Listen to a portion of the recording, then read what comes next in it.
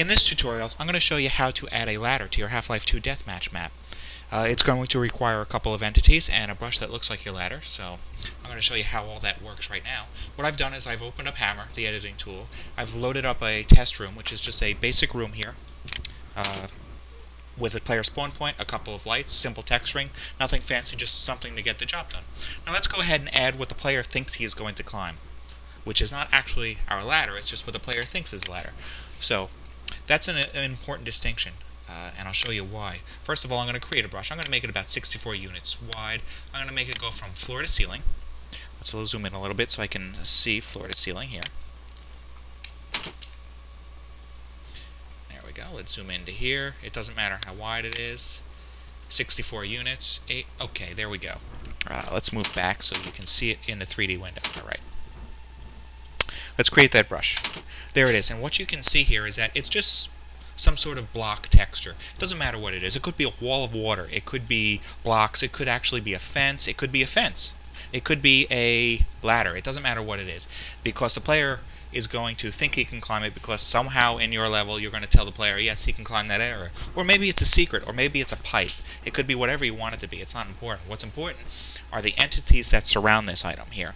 So I'm going to hit escape to deselect whatever I have here. Uh, let's see.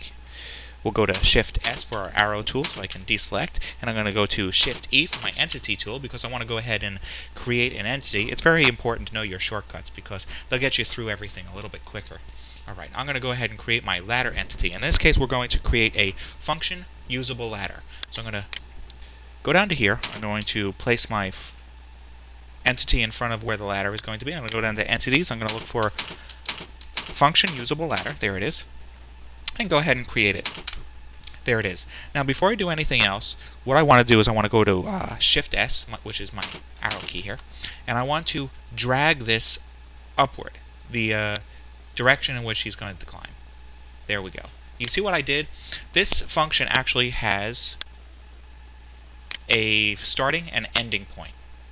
So if I if I go ahead and if I hit um, Alt Enter to bring up the properties of this, you'll see it has a starting point and an ending point. It doesn't matter since the player can get on or off from the top or bottom. It doesn't matter which is the start and which is the ending, as long as you do define the entire area in which the player is allowed to use their ladder. Okay. And what else is very important here I found out is that this ladder entity is not touching the ladder itself. It's not touching anything because whenever it does touch, the game doesn't know what doesn't even know that the ladder exists because it gets confused. So you have to make sure it's not touching. It could be one unit away. In this case, it's about eight, maybe 16 units away. So make sure that it is not touching there. Okay. We're done. Shift S, I can get out of that. Now, actually, we can get in here and play the game. But what we want to do, right, oh, before we go ahead and do that, is we want to tell the game where the player can get off of the ladder. Because you'll find out that uh, without what is called an info ladder dismount, that the player will have to jump off the ladder to actually get out, because the game doesn't know that the player should be able to get off. Um, it makes it a little easier for the game to understand how things are supposed to work. So we're going to go ahead, shift, uh, oh, shift E for our entity tool here, and I'm going to add a couple of dismounts. I'm going to add a dismount here, here, and here on the floor so that the game knows that it can get off the ladder in any of those positions. So let's add one over here first down near the floor. Look for info. Let's hit I to take a shortcut shortcut to the eyes. Info ladder dismount. Go over to here. Hit enter. There's our entity. I'm going to hit Shift S and move it down to, so it's actually on the floor. Go back to Shift E. Let's add another one. Enter. Shift S. Move that into position, and then we got to do one more. Okay, Shift E and Shift S. Oh, Shift E, Enter, and Shift S. There we go. Move that to the floor. And that's it. That's all we need to make our ladder work. So I'm going to go ahead and compile this now, uh, which is your F9, is your shortcut. Before we do this, let's save. I'm going to save my map, Control S, and let's hit F9.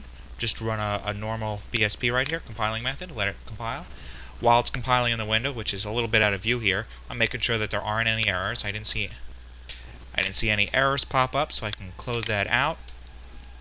Now we go over and we got to move our map So let's go over to where the map was saved. Down here in Program Files, Valve, Steam, Steam app, Apps, Username, uh, Source SDK, then it should be under Half-Life 2 Sample Content Maps. There's my test BSP, that's the name of my map here. I'm going to copy that and I'm going to paste it over into Half-Life 2 Deathmatch, Half-Life 2 MP, Maps, and I'm going to paste it right here, right over my old test map. Now I'm going to load up the game and we're going to run a test and see how it looks.